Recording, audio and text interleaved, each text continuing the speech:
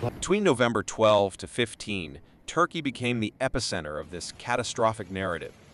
Darkness enveloped the skies as a terrible storm unleashed its wrath upon the land. In Istanbul, once a bustling metropolis, disaster struck with unrelenting force.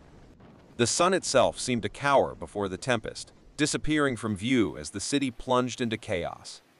The storm, accompanied by hailstones the size of fists, battered the cityscape, leaving destruction in its wake.